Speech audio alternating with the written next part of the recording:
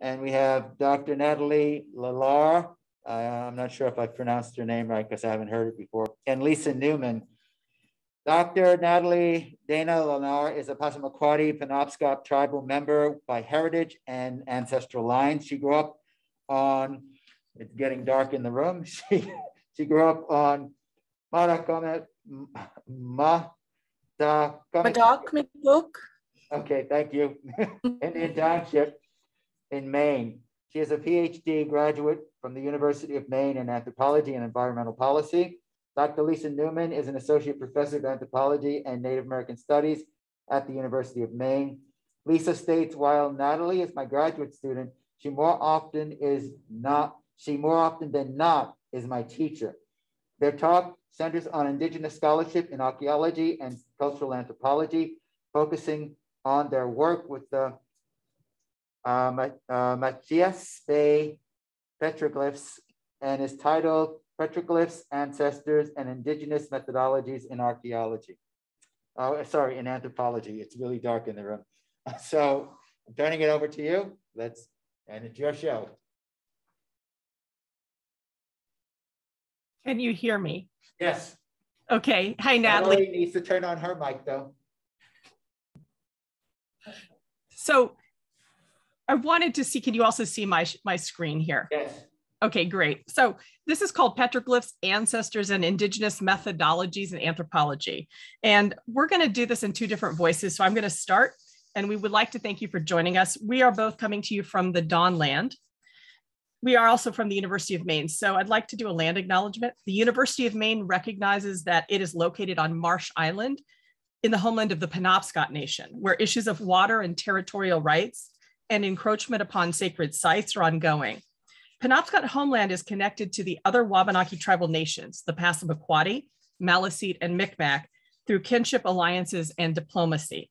The university also recognizes that the Penobscot Nation and the other Wabanaki tribal nations are distinct, sovereign, and legal and political entities with their own powers of self-governance and self-determination. The petroglyphs about which we speak today are located in the homelands of the Passamaquoddy tribes. We'd like to give some acknowledgement to Tribal Historic Preservation Officer Donald Soctomah for his partnership in our work on the Machias Bay petroglyphs. So let me quickly introduce myself, but I think uh, I had a good introduction already, so I'll do it quickly. I live and work in the traditional homelands of the Penobscot Nation, and I do research in the traditional homelands of the Passamaquoddy tribes.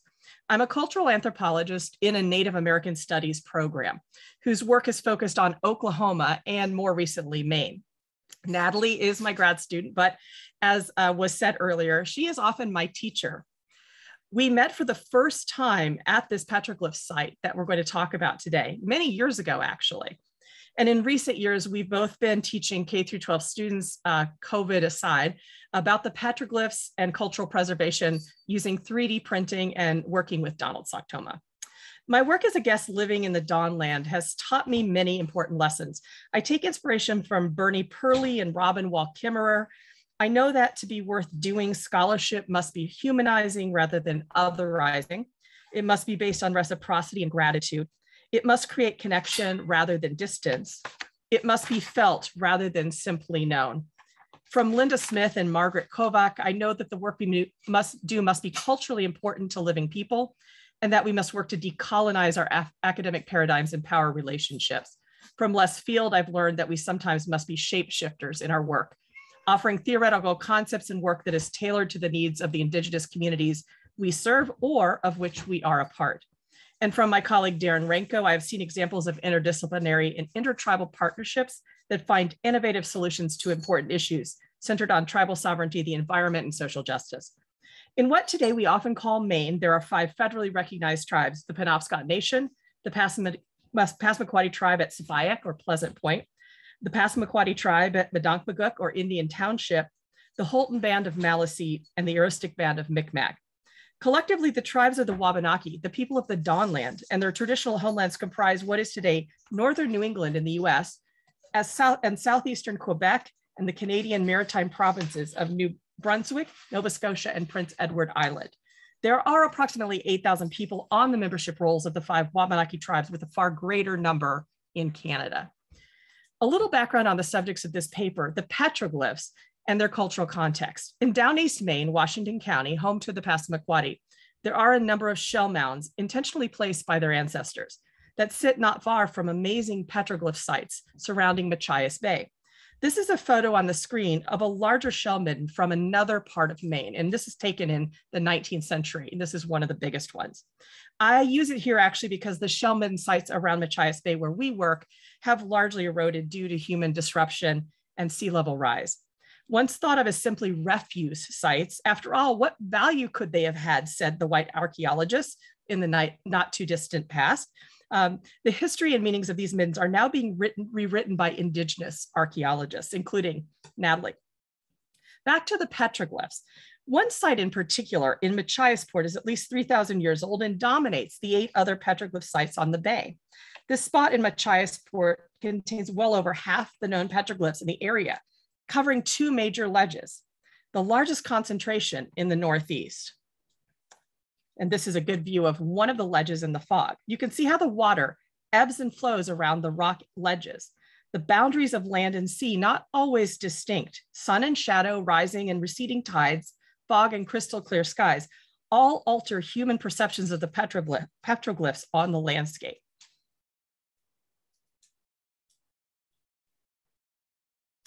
In 2006, the Passamaquoddy tribe regained possession of this main petroglyph site with help from the Maine Coast Heritage Trust. It was a time for ceremony.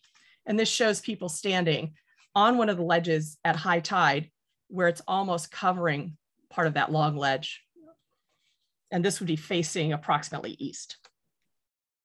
We see the petroglyphs in this case, not carvings, but actually images pecked into coastal rock to have enduring agency and personhood that connect past to present for the Passamaquoddy. This shows you a little bit of the, the peckings in the rock. Although some older petroglyphs still conceal their identities from us under rising coastal sea waters, time is not linear on the ledges exposed to human sight.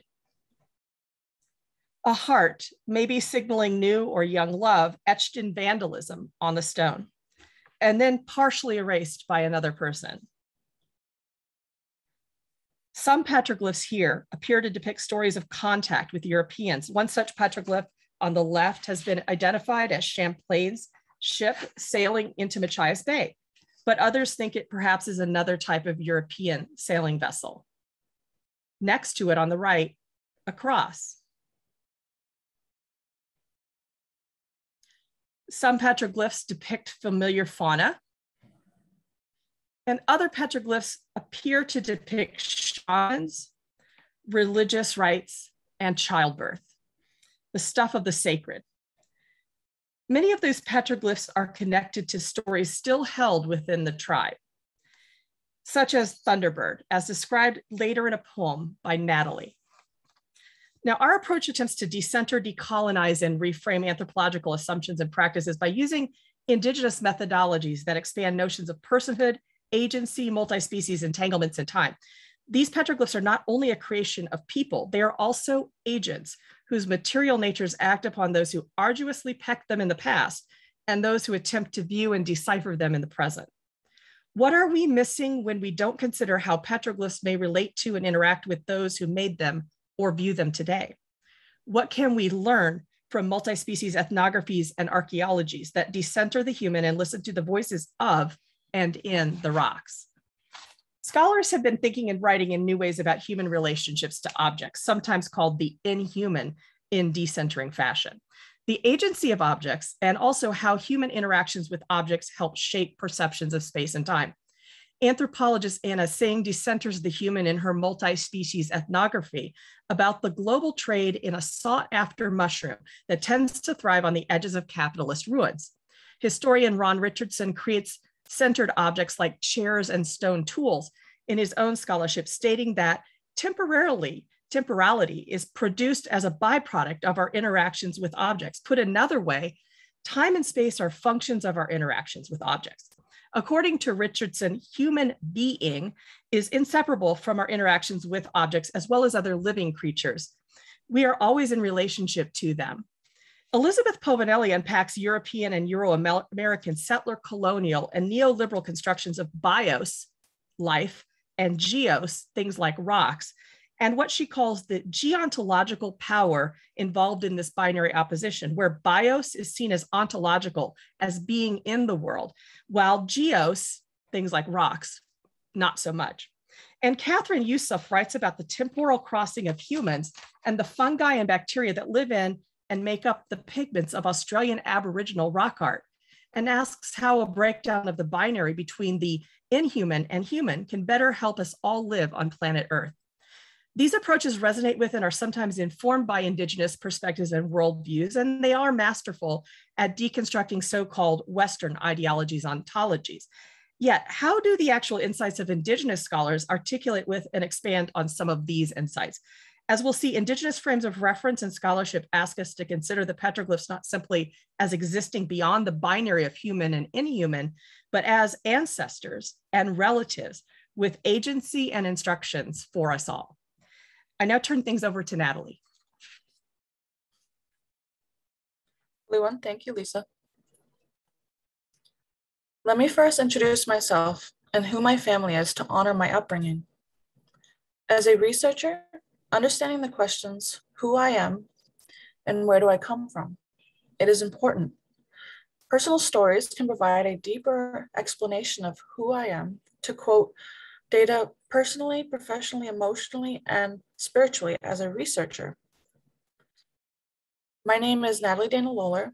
I am Passamaquoddy and Penobscot tribal member by heritage and ancestral lines. I grew up in Motahkomikuk, Indian Township, Maine.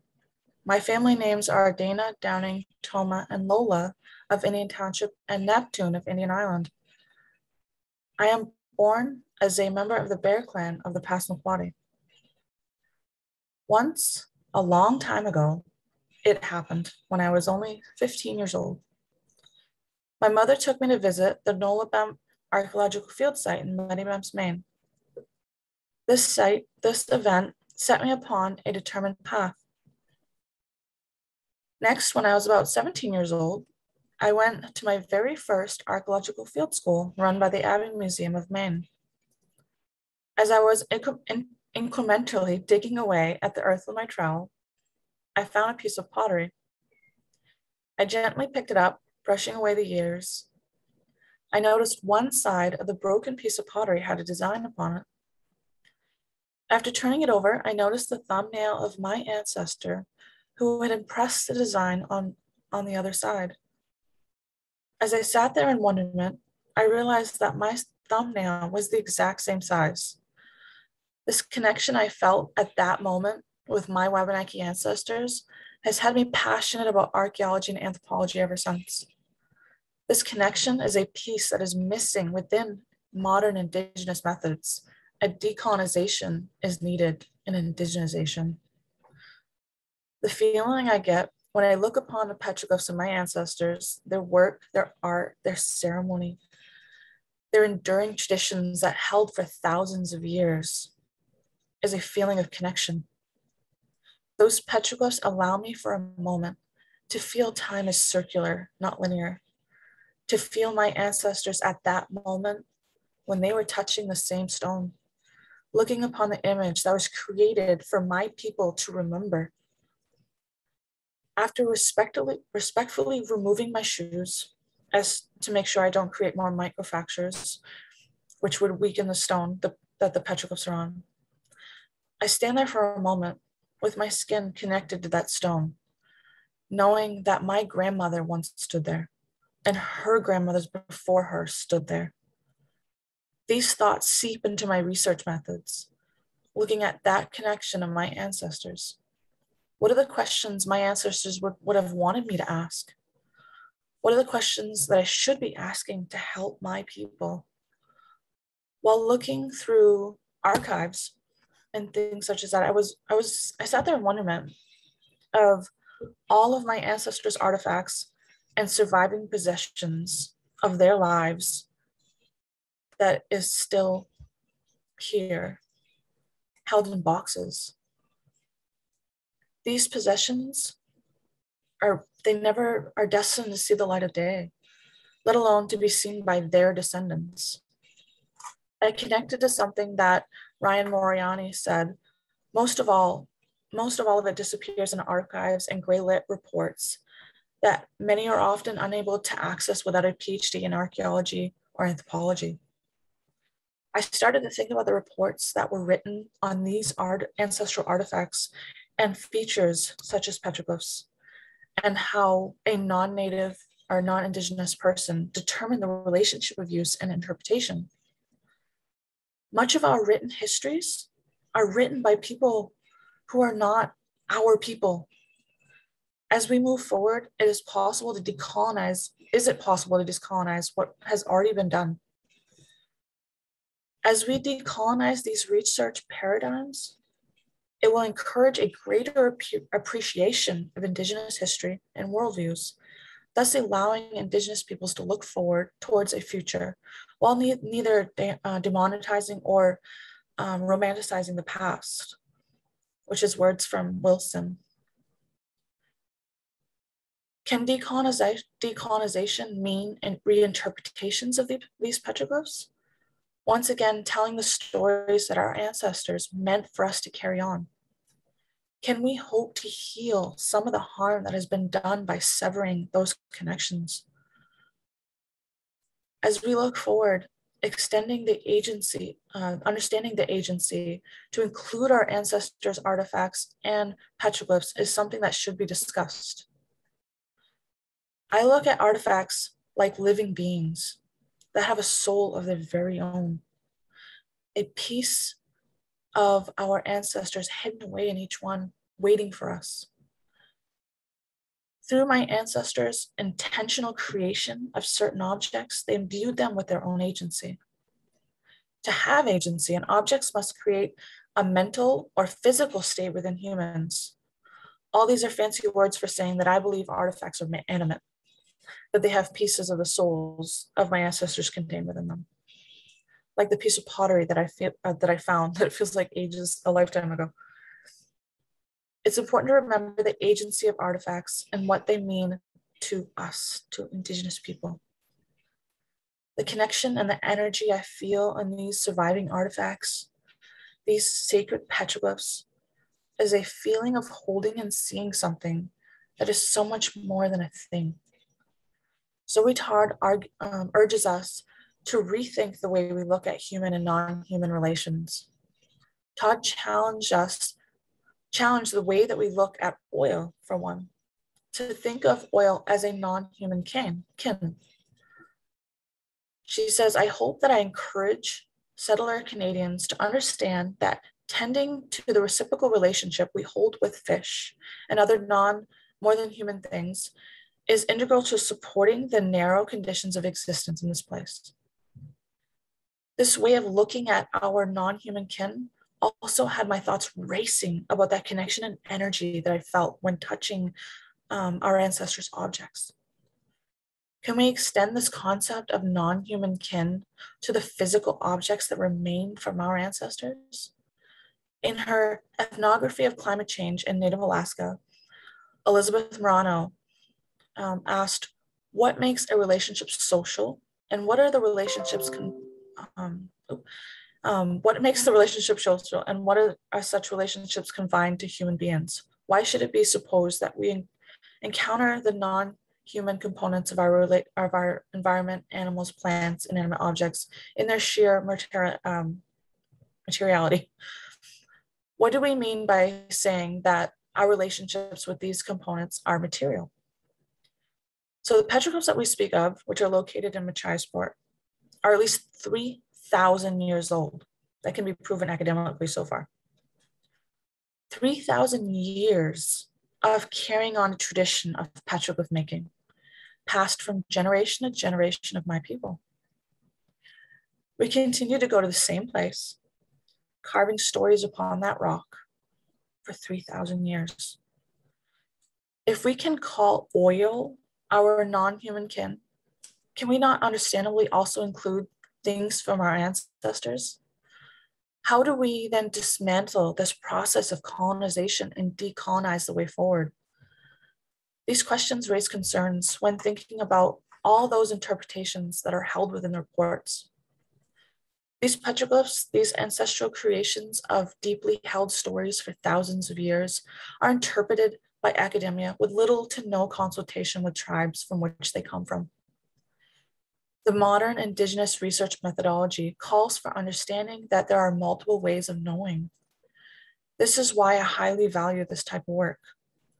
The objects that our ancestors made can be seen and understood by their Wabanaki descendants.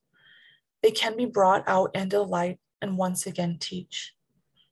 Interactions and relationships of humans with non-human other than human, uh, non-human other kin for indigenous people is essential to accept.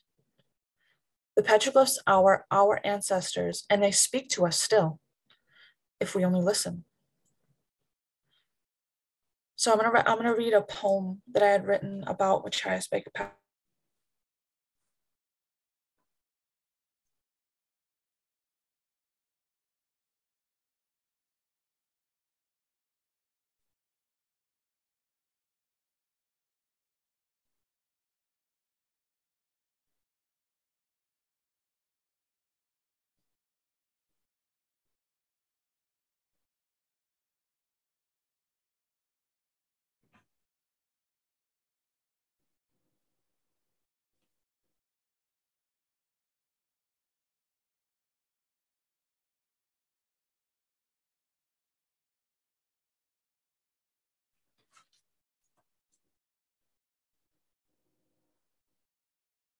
Natalie?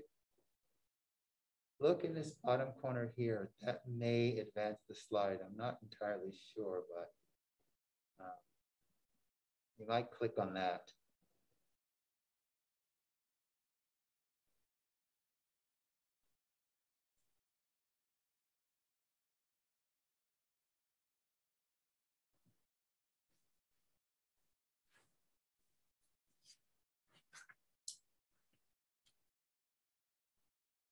I'm not sure what she did, but I think she exited. Uh-oh. Did so I I saw somebody freeze. Did Natalie freeze on your screens as well? No, her her mouse was you was moving around the screen as if she was trying to advance to a new slide. Um, ah. and then she must have clicked on something and ended the um, session. Ended uh, her session. So um, I'm not can, sure she's gonna come, if she's gonna come back. We can give her a second. Did she start reading her um, poem? No, it looked like it, it almost looked like she wanted the poem to be on the screen while she read it. Um, ah. It really wasn't necessary, but she wasn't reading anything. Okay. Let's give her just a second. And otherwise I can just, I can read it because I have it here. Yeah, she's, she's coming back on now. Oh, good, good, better and let her know if she can just read it. We don't have to see it. Hey, where did I lose you? Sorry, I was talking right away. No worries. Do you want to just read your poem? Yes. Sorry about that. Let's see. Uh, let's see. So I'm gonna try to speak this. I wonder, I wonder, will things ever change? As time slowly rips away, I wonder, I wonder, as the water tears away chunks of stone, slowly changing, rapidly changing, I wonder, I wonder, as I look upon the stone, how long will these things stay? I wonder, I wonder, as the hunter listens for game, mother giving birth, what shall I see? I wonder, I wonder, as Abudumpkin slithers on the surface and Thunderbird spreads his wings. I wonder, I wonder, as the little people are dancing, what will I leave the Wilderness today? I wonder, I wonder, moose, deer, people etched upon the stone, what has been lost? I wonder, I wonder about this magical, spiritual place, this place that is born from our way of life. Thank you. Everyone, thank you.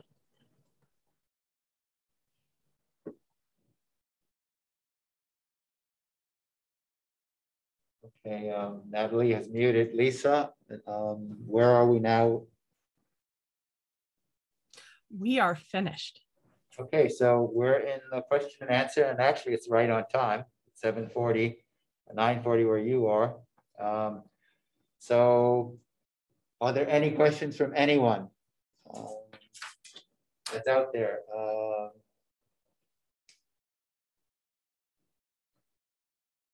I don't know if Clark is still hanging in, but he is an Aboriginal archaeologist. I wonder he might be curious Yeah. about stuff. I am. Um, so not so much question, more comment. So my um, in my bio, uh, it has that sort of uncomfortable that I've kind of always been uncomfortable in the fields of anthropology and archaeology, and um, uh, for me, especially while I was studying um, at uni, there was at that time things like oh, let's go and dig over here and try and piece this story together. But there was never any thought of, oh, let's go and speak with the community first before we go and dig around in what is actually their heritage. Um, so that's sort of one thing that I've always been uncomfortable. And the second one is I've actually I've used my degree to try and protect um, our cultural heritage from development from estates and that type of thing. And um, every time I've been unsuccessful. And um, so I've kind of walked away because uh, it's too it's too gut wrenching. Um, it's too heartbreaking. And then um, sometimes our community don't actually understand that my hands are tied as well. And there's sometimes blame at the archaeologist for what's seen as allowing it to happen. And um, and that's always been sort of so it's always been a, a difficult uh, place and I've always kind of wondered well what's what's the point? and I suppose it comes down to here in Australia our cultural heritage is, is so undervalued um, that they actually don't care about um, ripping up a heritage site for the sake of an estate um, so one well there's a, there's a couple of local examples I'll talk about one is where there was an estate of about maybe 500 houses. And in that particular area, there were approximately 3,000 artifacts turned up, and yet the estate still went ahead. Um, and then another one, which is just across the road from my house, um, we actually tried to block, but again, we were unsuccessful. Um, I'm convinced that they will come across human remains at some point. Uh, and they're also creating um, and may, may, uh, enormous uh, environmental damage because they actually have to build a bridge across a, um, a, a, creek um, to make this estate. So that's why I've kind of, um, I've just, yeah, walked away from from the field because it, uh, it's one that's been difficult. Uh, well, sometimes I'm like, what's the point? you know, what's the point in doing this cultural heritage assessment because you're going to do what you want anyway. Um, yeah, that's just, and that's just my experience in, in, in the field. So I'm sharing that. Know, as far as your home, you can always plant the seed of doubt. Yeah. Where you say, you know what, you could be digging up your ancestors' graves here.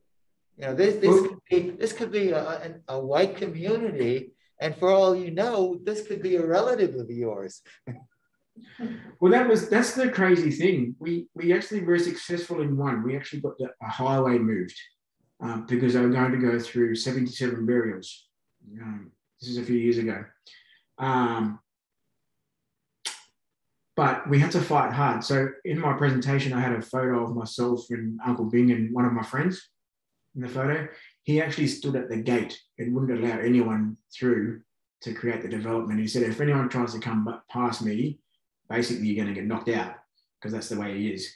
Um, and that's the level of we had to fight to save 77 burials, and and it's not, and it wasn't even a um, uh, it wasn't a, a, traditional burial. This was a massacre burial, um, and there were kids and as well. So this area is actually called Piccaninny Creek, and Piccaninny is a highly racist term for an Aboriginal child.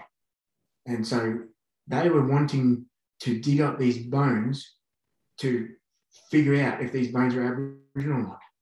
And we were saying, look at the look at the name that you have given this place.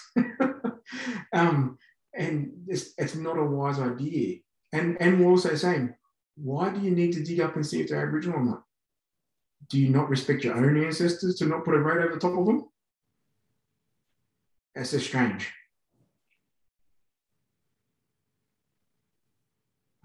Any questions? Definitely a, a hard fight, and it's it's definitely something that I mean, if we don't fight for our ancestors, who's going to? So That's right. It's yeah, that's right. Yeah, I should mention too, this is kind of related to what you said about development. The um, main petroglyph ledge site that we showed that returned to the tribe in 2006, that was kind of a joint effort of a group of people who were stakeholders. So this site is at the end of some really expensive housing in the bay. And happened though that one of the people who lived in one of those nice houses, she's Passamaquoddy, married to a non-native person. They were part of getting the land back. The land was slated to be turned into another house that would have blocked access to the sea and to this ledge. And so the tribe worked with the family and also worked with this group called the Maine Coast Heritage Trust, which is you know kind of an environmental group but what happened was they they get land and they were able to swap some land they they were able to get the land and purchase it and then they were able to get from the Passamaquoddy some land that was interior land not coastal land so it was kind of a land swap for conservation so these things can work but you're right more often than not they don't work and there are all kinds of examples of sites that are trampled on that haven't been protected i mean in the us at least we have NAGPRA on the Protection Act. I don't know in Australia, it sounds like you don't have anything like that. Um, no. No. No, it's, uh, it's, we're very backwards here, unfortunately. Well, nag isn't always upheld here and it doesn't really relate to private land. So that's the other problem is that people can do almost anything they want right with private land. But um, Natalie's the archaeologist. So I, I think I take her words, you know, that you really have to fight um, being a cultural anthropologist, I'm I'm not as up on uh, yeah. this, but yeah.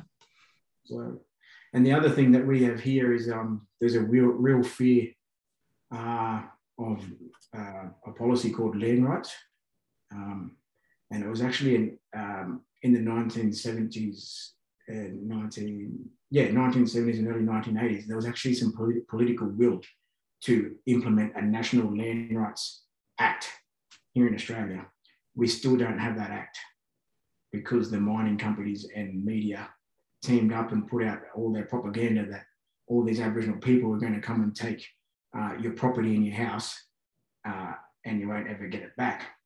I mean, how ironic for a start, um, but also that was never the purpose of, of the act. So, um, so these days, uh, we are still trying to uh, to convince people that we're not there to take their property. that if they've got cultural sites on their property, we need to be able to connect with them in order to continue to build our story. And it's not about taking their land off them. And that's part of our battle. And we've been successful on a couple of times. So, um, you know, just recently we've had a couple of wins with some private landowners as well. Um, but um, more often than not, we've had cultural sites that have been um, destroyed on private property because of the fear around land rights.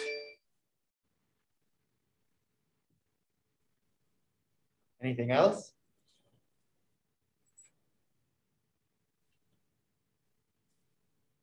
I don't really have a question, but I did appreciate both like all your stories. They're like, it makes you realize that this is like such a big problem. And there's more satellite issues than solutions. But at least there's people that do care. So that's good. In the state of Montana, it's actually been legislated, um, a legislated act titled Indian Education for All. Even though this, this is a state government act, nothing is really done about it. And some of that, some of the proof about that is the fact that even though all the administrators at the upper end at this campus, on this campus, have been given more than once um, invitations to come to this workshop. I don't even think anyone has bothered to read the program.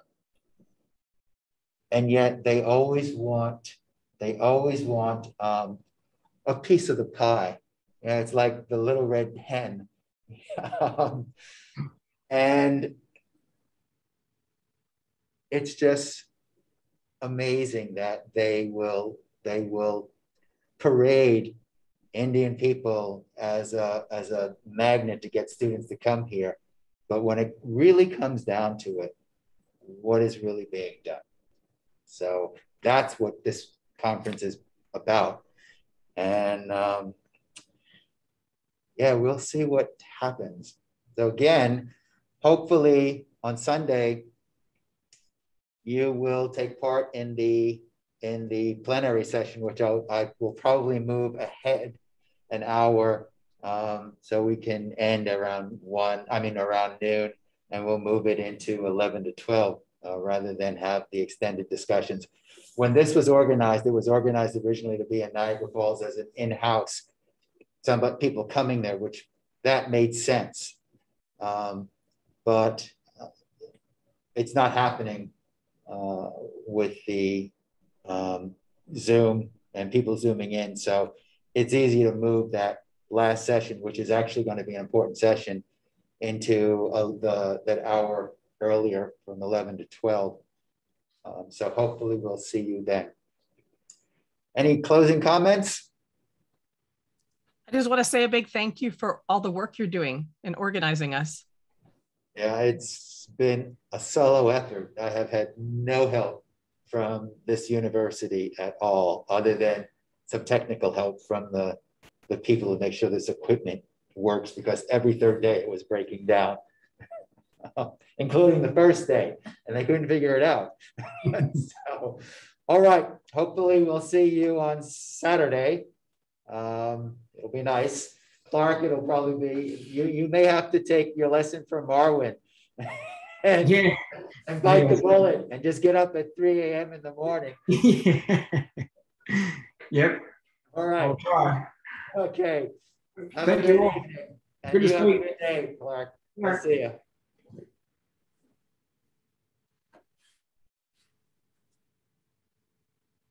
Let me stop this.